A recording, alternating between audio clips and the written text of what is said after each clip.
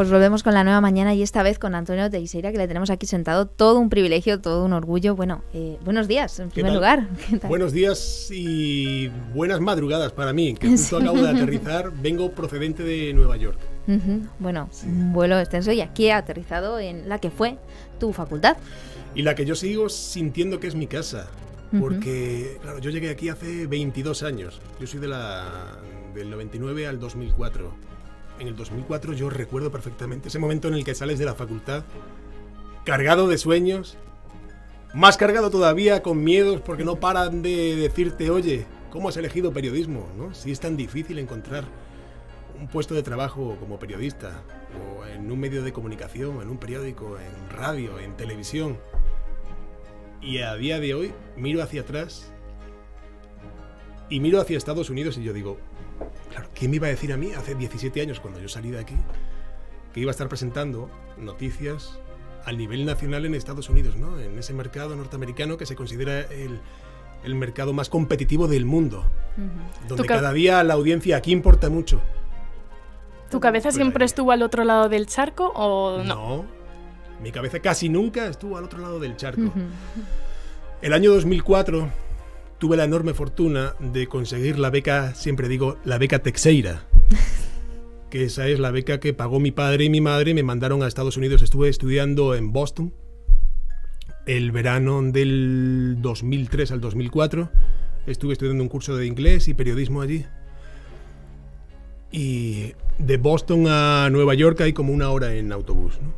Y yo fui para allá, para Nueva York, y me llamaba muchísimo la atención la cadena por antonomasia, ¿no? La cadena norteamericana, NBC, NBC. Y se tiene la fortuna, cualquiera de vosotros que podéis ir a Nueva York, se tiene la fortuna de poder recorrer esos estudios por medio de un tour. Tú pagas un dinero y te llevan por los estudios, ¿no? Claro, pero yo lo estaba viendo como periodista y como un sueño imposible de conseguir. Y ayer o antes de ayer estuve ahí con los compañeros de, en, en Rockefeller Center, ¿no? Y recorres esos pasillos que hace 15 o 20 años yo lo veía como turista o lo veía como era yo un proyecto de periodista, que en mi vida pensé yo que podía llegar allí. Oye, yo estoy trabajando en esa empresa. Y no solamente, ¿no? Que estoy trabajando, sino en qué posición. La enorme confianza que ha depositado esa, esa gran empresa que es NBC Universal Telemundo, que es NBC Universal Telemundo, y para un puesto de trabajo como el que tengo, que soy el único español en la plantilla de presentadores de noticias. O sea, tú pones el telediario o pones al rojo vivo y aparece por ahí un chico, o un hombrecito ya, ¿no? que hace 20 años se formó aquí en esta facultad. Y yo venía reflexionando ahora en el avión, porque es mi primera charla que yo doy a alumnos de periodismo. Y decía, ¿qué les digo? Pues muy sencillo, les voy a decir la verdad. ¿no? Porque siempre hay que decir la verdad rápido y aunque duela. Y la verdad es que yo durante mucho tiempo estuve escuchando determinados argumentos de mucho... Vamos a sacar el cuchillo. de mucho periodista frustrado. De mucho cenizo que viene y te dice, pero ¿por qué estás ahí intentando ganarte la vida delante de un micrófono? Si eso primero no te va a dar dinero, Segundo, eso va a ser imposible mantenerlo.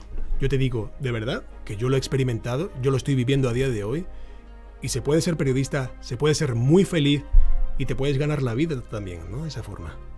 Totalmente. Bueno, ¿y cómo se está viviendo, no, este momento de, frenetismo a nivel periodístico allí, al otro lado del charco? Uf.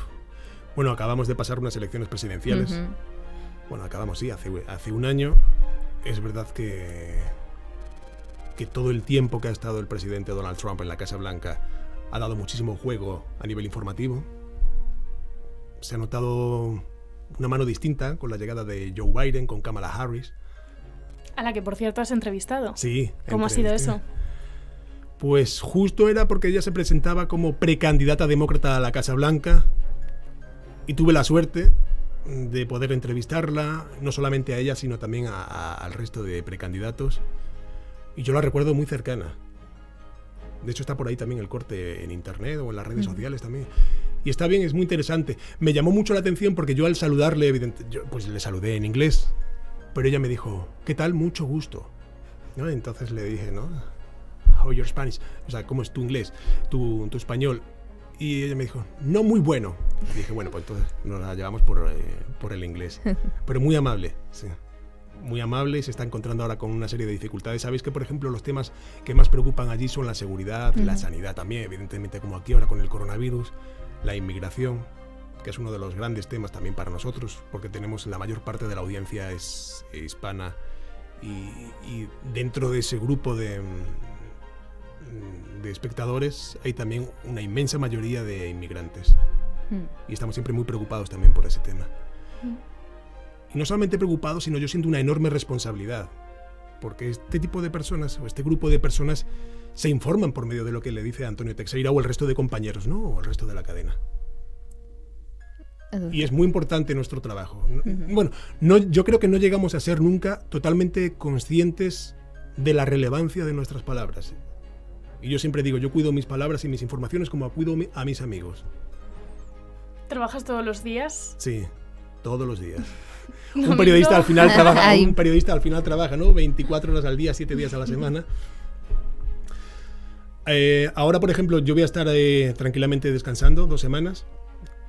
Voy a intentar desconectar, que es muy difícil como periodista, pero, pero voy a intentar disfrutar de la familia, que al final los veo dos semanas al año, cuatro semanas a lo máximo. Mm. Y cuando regrese voy a estar trabajando, creo que son tres semanas seguidas, sin descanso. Por cuestiones de vacaciones y demás también, pues yo presento de lunes a viernes al Rojo Vivo, sábado y domingo el telediario. De las, el prime time es seis y media y once y media. Y dices, ¿y el lunes luego qué haces? Al Rojo Vivo. Y el martes también, miércoles, jueves, viernes. luego el sábado y el domingo, pues el telediario. El telediario. Pero luego ya también hay hay flexibilidad en ese asunto y también se cuida mucho al trabajador. ¿eh?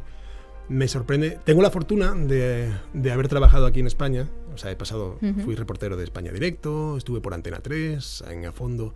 En 4 eh, también. En 4 también, con las mañanas de 4. Y, y he podido experimentar cómo es el trato en España al trabajador, que es bueno, y cómo es el trato en Estados Unidos. Cuéntanos. Exacto y que os digo que mi empresa es excelente. Tú puedes ser el número uno, pero como no sepas, en mi caso, ser un líder, y un líder no es sacar el látigo, un líder es que la gente quiera ser como tú, o sea, el resto de compañeros. Eso tampoco es generar envidias, ¿eh? sino es, yo quiero, ser, yo quiero eh, ser como Antonio el día de mañana, si empiezas, si es el caso que empiezas en el equipo. ¿no? Hay gente buenísima, hay gente buenísima y a lo que quería hacer yo referencia es la forma en que se trata a las personas. Yo cuando llegué allí usaba mucho el imperativo, aquí se usa mucho el imperativo, pásame eso, hmm. ¿no? Eso está totalmente prohibido. Eso se erradica. ¿Y entonces cómo...? ¿Te importaría, por favor, pasarme eso? Todo muy correcto, muy... Cuando llega ese momento, ¿no? De, de NBC, Universal, Telemundo, a, a, pues, a las puertas, a esa oportunidad. Pues como llega el sueño norteamericano, ¿no? o el sueño americano. Estaba tranquilamente un día en casa y me llama un reclutador de talento, así se presenta, de NBC Universal. Y yo dije, esto es una broma. ¿no? Y era justo porque yo estaba presentando y me, me, habían visto. Al otro lado del mundo. Y me estaba llamando el reclutador de talento que tiene la sede, donde yo ahora trabajo, pero me llevaron para la ciudad de Las Vegas, ¿no? el mundo del espectáculo, cerca de Hollywood y todo aquello que viví. Y yo pensé que era una broma, yo pensé que era algún amigo que se estaba haciendo pasar por, ¿no? Y,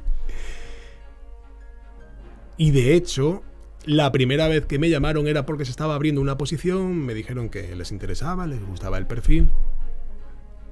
Y a la semana o semana y media me llamaron para decirme que no, que ya se había cerrado la plaza y que se frenaba aquello. Recuerdo perfectamente, fue enero del año 2016. Y yo por entonces... Es que lo tengo grabado a fuego en la memoria, porque yo llegué, digo, se lo voy a compartir a mi hermana. Y llegué a la cocina, ella estaba allí preparándose algo. Digo, oye, digo, digo, ¿tú te crees que es posible esto que me ha llamado en NBC Universal, NBC Universal, Telemundo?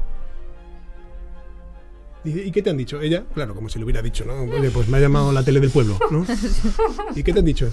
Digo que sí, que les interesaba, pero luego a la semana ya me han dicho que no. Ah, bueno, bueno, pues, pues nada, no es para ti. digo, bueno, digo, la importancia que le está dando, ¿no? Y es curioso porque a, la hora de decirme, ya te llamaremos, esta empresa es muy seria y sí es verdad que ya te llamaremos, porque luego en el mes de junio se abrió un par de plazas y me dijeron, oye, hay plaza en aquí y aquí. ¿Cuál te interesa? Y dije, la, la primera que esté disponible voy para allá.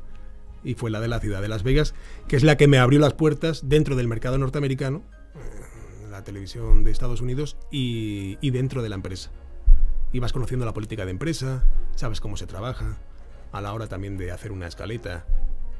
Se, se, mira una serie de elementos distintos a, a, los que se tienen en consideración aquí en España. Porque yo es lo que decía antes.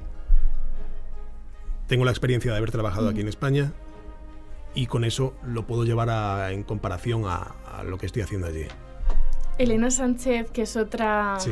eh, bueno, alumna de Ciencias sí, de la Información, sí, que ha pasado por aquí también por los encuentros alumni, le preguntamos que tenía que tener una presentadora y nos dijo que tenía algo que ver con exactamente con lo que llevas dentro, yo creo como con el carisma. ¿Tú qué piensas? Mm. ¿Qué tiene que tener un presentador para llegar, por ejemplo, a ser como... Credibilidad. Como lo que no es posible que yo te vaya a decir algo y tú no te lo creas, ¿no?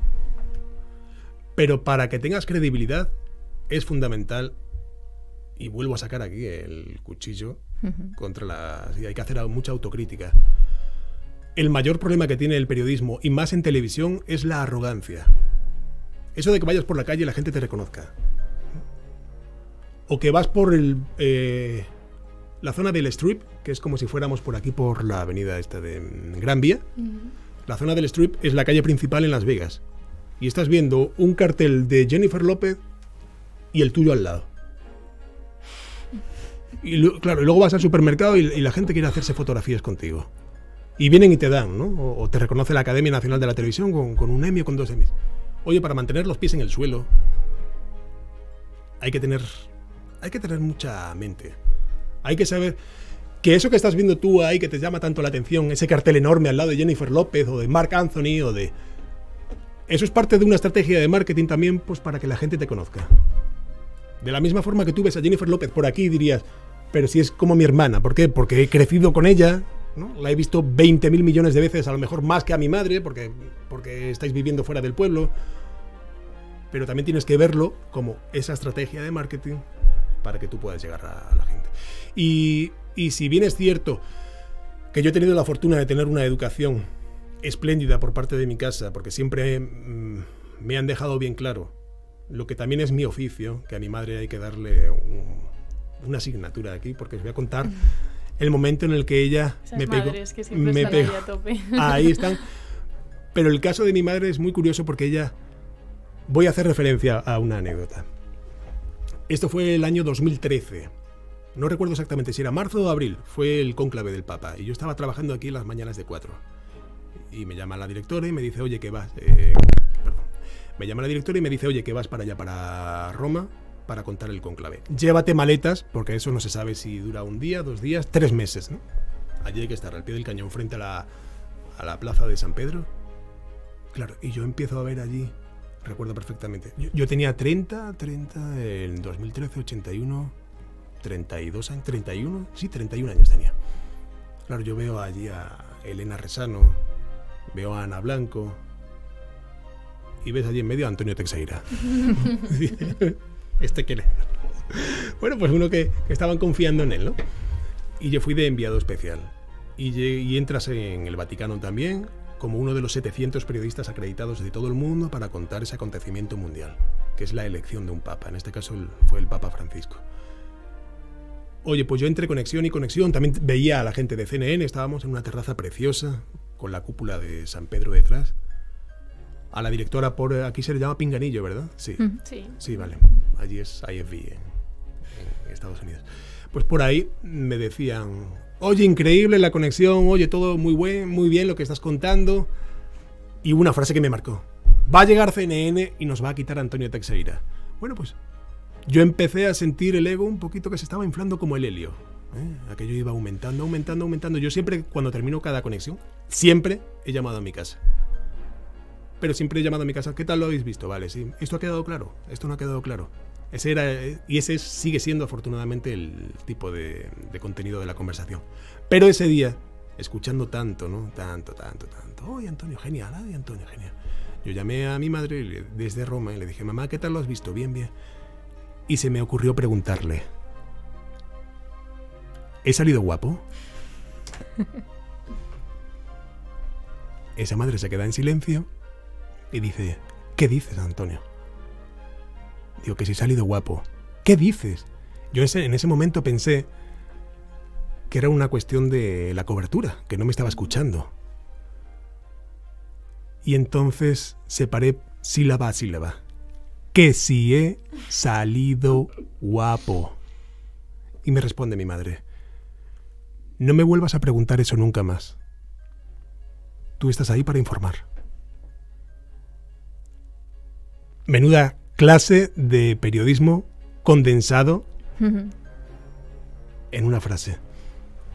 Créeme que desde entonces, bueno, anteriormente, pero ahí es, como que me estaba desviando un poquito. Y ya con esa frase digo, no me voy a volver a desviar nunca más en la vida.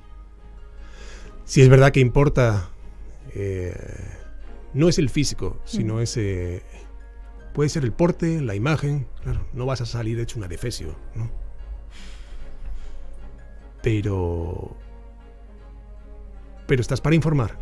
Y cuando tienes muy claro lo que tienes que contar delante de la pantalla, o en un micrófono, o en una redacción de periódico, lo otro pasa a un plano secundario. Y a todo esto, ¿a qué viene? Aquello que me preguntabas tú, que tiene que tener un buen comunicador de noticias, credibilidad. Y en Estados Unidos se insiste y re que te insiste en naturalidad. Que si tú eres así, tú eres así, ya está.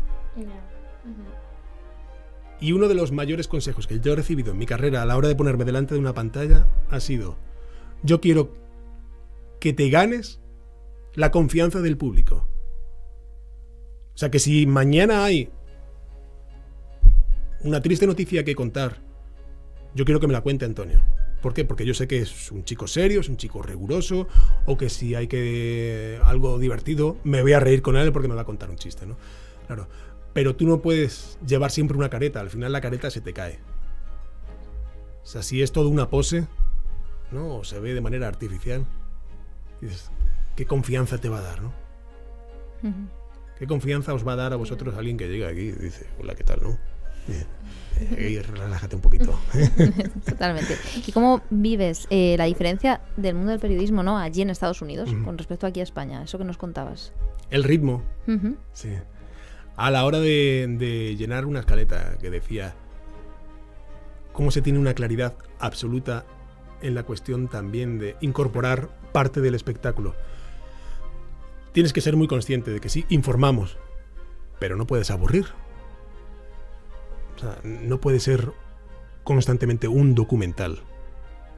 Y me refiero al documental para diferenciarlo de un informativo. Ojo que hay documentales, vamos, que, que ojalá muchos informativos se, se pareciesen a los documentales, ¿no? En cuanto a la información. Pero si cuentas un, tema muy duro, tienes que también ser muy consciente, no solamente del contenido de eso, sino que a la gente hay que relajarlo un poquito. ¿Qué noticia le gustaría dar a Antonio Teixeira? Claramente. ¿Dónde tengo la pantalla? Por aquí. La pandemia ha acabado. Efectivamente. O sea, yo creo que es la que nos gustaría a día de hoy dar a, todos. Ojalá. De hecho, ese es uno de los mensajes que nos, nos pidió la cadena hace poco. La grabación de un mensajito para final de año. Y para mí fue esa. Y avisé. Ojalá sea en 2022 y si es así, diré, repito, la pandemia ha acabado. Ojalá. Hay, hay, una cosa que, que, o sea, siento como una distancia porque al ah. final yo estoy aquí chiquitita, estamos aquí chiquititas en Inforradio y tú vienes... ¿Cómo que chiquititas? os voy a decir algo también. Que nadie os diga que sois chiquititas y que nadie os diga que esto que estáis haciendo hoy aquí y el resto de compañeros ahí detrás también y en la mm. redacción no dista tanto de lo que yo hago día a día allí. Y me refiero a preparaos, a, prepararos los temas. ¿Vas a entrevistar a alguien? ¿Os habéis documentado? Espero. sí, sí, se nota. Yo también me documento. Ya está. Mm, sí, a lo mejor, claro, evidentemente esa cámara, si la comparamos con la de, no sé, 8K o 25.000K que tienen allí, ¿no? Eso, pues sí, es un poquito diferente. Pero ya está, simplemente es el tamaño, a lo mejor la, la calidad. Pero lo que viene siendo la esencia, estáis haciendo exactamente lo mismo que se hace allí. ¿Eh? Y es el mercado más competitivo del mundo. Y si es verdad que he visto desde aquí, parece muy grande, muy grande, muy grande. Y lo es. Pero podéis llegar ahí. ¿Volverías a España? Ahí digo, ¿bajo qué condiciones?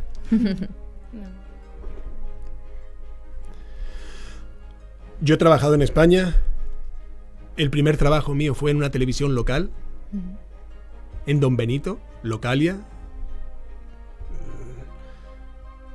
Y para poder llegar a final de mes en aquel trabajo, me tenía que ayudar mi padre económicamente. Al presentador de noticias de Localia, en Don Benito, ¿no? porque los sueldos son los que son. Ahora ahí tú te planteas la disyuntiva acepto esto porque me están pagando, me están pagando nadie menos, y estoy ganando experiencia, y con esto puedo seguir avanzando en la carrera, o me quedo en mi casa y digo, no, no, no, eso es un salario injusto, y yo no lo acepto. Pues eso está muy bien, y lo respeto, también porque hay que, hay que abogar por los derechos de los trabajadores, pero en mi caso yo dije, bueno, si esto es lo que hay, voy a intentar, porque me podía ayudar mi padre, para pagar el piso de alquiler. Y de ahí conseguí un trabajo que, claro, me, convocaron para ser reportero de España Directo. Que yo cuando llegué a Televisión Española, había una cola de, de reporteros, había una cola de, gente joven alrededor del edificio de Televisión Española, que era cuando estaba empezando, yo creo, Operación Triunfo.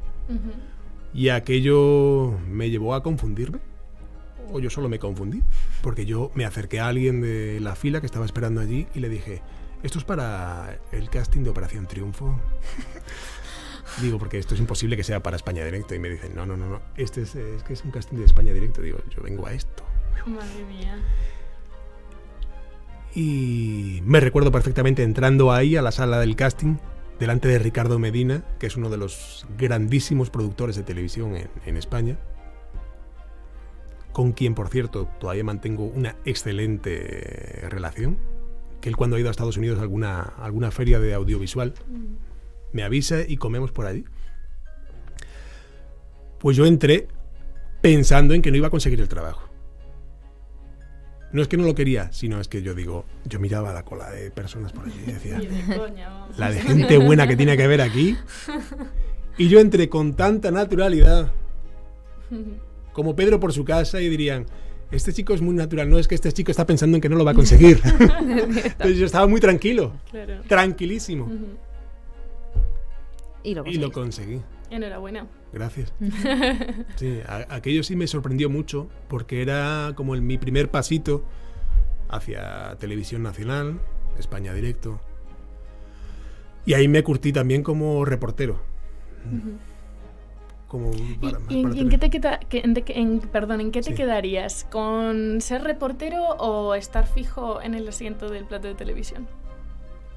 Yo creo que para sentarte en un plato de televisión, previamente has tenido que pisar la calle. Para entender muchas cosas, ¿no? o, para incluso también mm, saber reaccionar. la capacidad de improvisación. ¿El qué? ¿Debe salir fuera el presentador? Allí en Estados Unidos se cuida mucho eso. Yo he salido en dos ocasiones solamente. Uno para la toma de posesión del presidente Biden allí en la Casa Blanca y ahí estuve todo el día. Si es verdad que estás fuera, pero si tú miras de tu posición para allá, estás viendo un estudio también, ¿no? Porque eso en cuestión de tres días te levanta un estudio de televisión.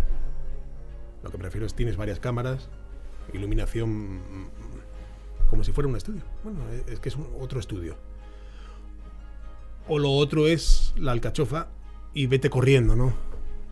que eso me pasó en enero, febrero, marzo, en abril de este año, que hubo un temporal de nieve tremendo en Texas, subió hacia arriba, hacia el norte, hacia Nueva York y me mandaron para allá también. Pero sí, la pregunta era si hay que salir, ¿no? Bueno, no, ¿con qué me quedo? Las dos cosas, pero sí. Claro, yo siempre digo, porque hay que elegir entre el chocolate blanco y el chocolate negro, pues si me gustan los dos. los dos ¿no? Totalmente. Yo creo que una cosa no es incompatible con la otra. Sí, es cierto que cuando uno está en la calle sueña con estar en un estudio. Iba a decir que la vida es relativamente más cómoda porque más o menos tienes un horario. Yo cuando trabajé de reportero aquí, claro, yo salía un lunes por la mañana a las 4 de la mañana y, a y en el mejor de los casos regresaba a casa el viernes. Que yo a veces decía, ¿y para qué pago el piso, no? Si yo podía estar en un hotel, ¿no? Y pago cuatro noches en Madrid y luego ya sigo volando por ahí. Estás todo el día en un avión para allá y para acá. Pero esa vida es muy enriquecedora, te abre la mente. Has estado en Barcelona de la misma forma que has estado en Cádiz. Cuando sucede algo en Barcelona lo sientes también como tuyo, mm. como algo cercano, ese principio de cercanía que hay en el periodismo. Y, eso lo llevo también a el eh, cuando tienes compañeros de otras nacionalidades tan diferentes. Si, si, tienes a una amiga mm, boliviana aquí, o peruana, o un amigo mexicano, si sucede algo en México, rápidamente le preguntas a él también, ¿no? Ya te interesas. Y eso es muy interesante también para trabajar a nivel internacional, que es uno de mis, se considera mis fuertes, ¿no? Me interesa mucho la política internacional, me interesa mucho todo lo que ocurre y le pongo el mismo empeño, yo siempre digo, siempre le he puesto el mismo empeño a contar de forma muy rigurosa, muy seria, lo que sucedía en Don Benito, que desde fuera se puede ver como, ah, eso es una noticia pequeña. Con lo que está ocurriendo en la frontera entre Estados Unidos y México, o el conflicto que se está eternizando ya en Ucrania, o la situación en Siria, o las elecciones recientes, no sé, bueno, elecciones. El sucedáneo de elecciones en Venezuela hay que verlo todo desde distintos ángulos. Y por cierto, eh, hemos estado repasando tu, tu, historia, ¿no? Tu trayectoria. Y tenemos aquí el Emmy, ¿no? Que es todo, todo un orgullo, todo un privilegio tenerlo aquí. Bueno, ganaste por, ¿eh? por, segunda vez, ¿no? al mejor presentador de noticias. ¿Cómo fue eh, el momento en el que te galardonaron, te dieron este premio? Pues para mí fue una sorpresa. Eh, sí es verdad que tiene su peso, que la Academia Nacional de la Televisión de Estados Unidos, esto es por la conferencia, eh, tenemos el este, el oeste, y yo, por encima del premio, que podemos decir que es el máximo reconocimiento para un periodista en Estados Unidos, fue la experiencia de poder vivir la ceremonia con mi padre y mi madre. Ese hombre y esa mujer. que crearon y criaron a... Mi padre es Antonio Teixeira, entonces en este caso es Antoñito Teixeira en casa. y está nominado para, para semejante premio. Esa, primera ceremonia que yo vivo con ellos, que es justo al lado de Los Ángeles. Mi padre vestido de smoking. mi, madre, mi madre por la alfombra roja, con ese vestido tan elegante que le, que le hizo la costurera del pueblo. Me encanta. Imaginaos, ¿no? Lo que.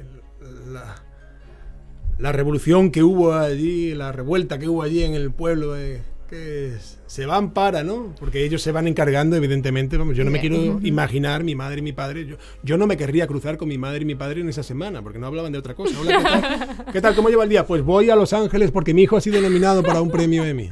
Ya, pero yo le he preguntado que cómo lleva el día, ¿no? Oh, mi madre. ¿Quién es la última en la carnicería? ¿Qué tal? Yo, yo, que soy la madre de Antonio Teixeira, que ha sido... Bueno, eh, estoy exagerando un poco. Pero esa experiencia... Y, hay dos momentos, ¿no? Uno en el que mi padre vestido de smoking, entrando allí eh, en el teatro, y ponía... ¿Lo cuento o no lo cuento? Mira, está ahí mi hermano, me ha dicho que sí. Me, da la aprobación.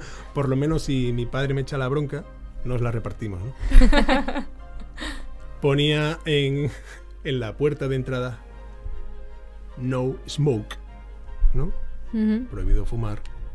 Y mi padre, Antonio, sí, que no podemos entrar, que no, smoke, no smoking, no smoking. Eh, eh. Esos son para mí los grandísimos momentos que yo viví ahí. Por supuesto, ahora voy a contar todo lo demás, ¿no? Pero eso o en la alfombra roja, por donde iban pasando y posando las grandes estrellas de Estados Unidos, y ese comentario de mi madre mirando hacia arriba, es más bajita, y me mira así hacia arriba. Antonio, esto parece Hollywood. Mira, mira, mira. Digo, no, mamá, esto es Hollywood. o sea, estamos en Hollywood, ¿no? Y cuando recibí el premio, dijeron mi nombre, imaginaos ahí el griterío, la alegría de mi directora de noticias, del presidente. Y ahí subí yo y dije, ¿qué hago? Y digo, bueno. Y solté ahí el discurso, saludé en ruso, en inglés y en español por mi trayectoria, porque yo pasé por Moscú. y, y conté una experiencia muy bonita porque yo lo sentí y lo siento así, que sí es verdad que esto es como mejor presentador de noticias, que parece que es para uno. Ya, pero si no fuera por todo ese equipazo que tenéis detrás, esto no sale. Y en mi caso, la cantidad de reporteros que hay allí, de técnicos, directores, productores, editores, que se toman decisiones. Utilizando una metáfora, eh, yo siento que soy como las manecillas del reloj. Yo te doy la hora, ya, pero ¿y todas las piezas que hay detrás? Como falle solamente una, sabes que hace la manecilla, ¿no? Que está así a las 12, mm. se va a las 6 y se queda así colgando. Pues yo eso es lo que siento. Y por eso dije, esto no es para mí, esto es para mi equipo. Pero es así como lo siento y así es como yo se lo entregué. Bueno, no, se, no se lo entregué, me lo traje para acá porque, porque es de una pieza, si no se podría haber dividido ¿no? entre todo el equipo. Pero esto también al final te pone en un escaparate. Mm.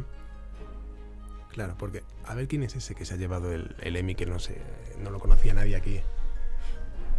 A, pero a ver si se confunde. ¿Eh?